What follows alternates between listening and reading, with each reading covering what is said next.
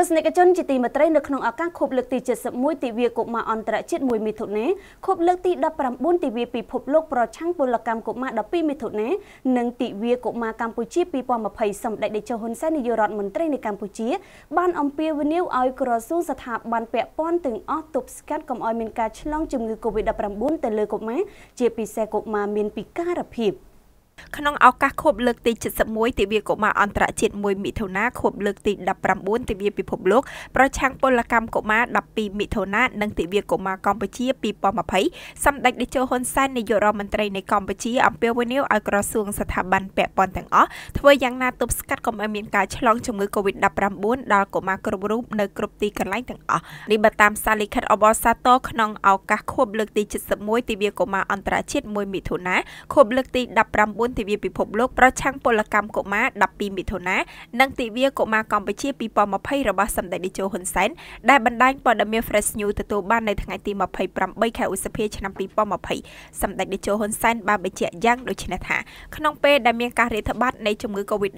នេះខ្ញុំព្រះករណាខ្ញុំសូមអំពាវនាវក្រសួងស្ថាប័នពាក់ព័ន្ធត្រូវបន្តអនុវត្តសេចក្តីណែនាំក្រសួងសុខាភិបាលឲ្យបានម៉ឺងម៉ាត់ធ្វើយ៉ាងណាទប់ស្កាត់កុំឲ្យមានការឆ្លងដល់កុមារគ្រប់រូបនៅគ្រប់ទីកន្លែងទាំងអស់ជាពិសេសកុមារមានពិការភាពកុមាររស់នៅក្នុងគ្រួសារក្រីក្រកុមាររស់នៅក្នុងកន្លែងថែទៅជំនួសនិងកុមារកំពុងរស់នៅក្នុងកន្លែងឃុំឃាំងទាំងអស់បន្ថែមពីនោះទៀតសម្ដេចតេជោហ៊ុនសែនក៏បានអំពាវនាវឲ្យក្រសួងស្ថាប័នពាក់ព័ន្ធត្រូវខិតខំប្រឹងប្រែងរកលទ្ធភាពនៅក្នុងការធ្វើយ៉ាងណាឲ្យមានគ្រប់រូបនៅគ្រប់កន្លែងទាំងអស់ជាពិសេសកុមាររស់នៅក្នុងគ្រួសារក្រីក្រទទួលបានសេវាអប់រំអនាម័យទឹកស្អាតស្មើស្មើគ្នានៅក្នុងកំឡុងពេលមានការរាតត្បាតនៃជំងឺ Covid-19 នេះសម្ដេចតេជោហ៊ុនសែនបានគូបញ្ជាក់ថារាល់វិធានការដែលបានដាក់ចេញដោយក្រសួងស្ថាប័នពាក់ព័ន្ធដើម្បីបង្ការជំងឺ Covid-19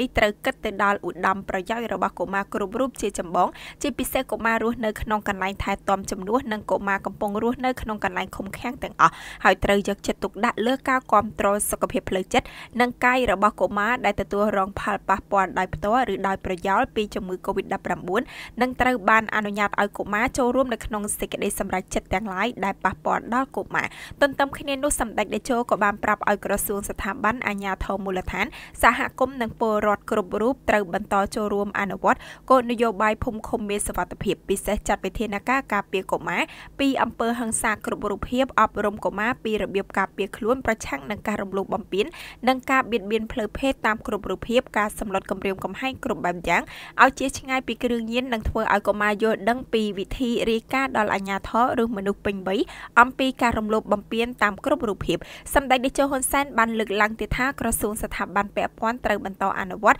អនុសញ្ញាស្នូលនៃអង្គការអន្តរជាតិខាងការងារដើម្បីលុបបំបាត់គ្រប់ទម្រង់នៃពលកម្មកុមារលើកកម្ពស់ការយល់ដឹងបណ្ដុះបណ្ដាលនិងផ្សព្វផ្សាយអំពីការទប់ស្កាត់ការប្រើប្រាស់ពលកម្មកុមារនៅគ្រប់សកម្មភាពសេដ្ឋកិច្ចនិងពង្រឹងវិធានការអធិការកិច្ចពលកម្មកុមារព្រមទាំងគៀងកធនធាន និងចលនាសាធារណៈនៅក្នុងការស្វែងរកដំណោះស្រាយសមស្របដើម្បីជួយសង្គ្រោះពលកម្មកុមារ។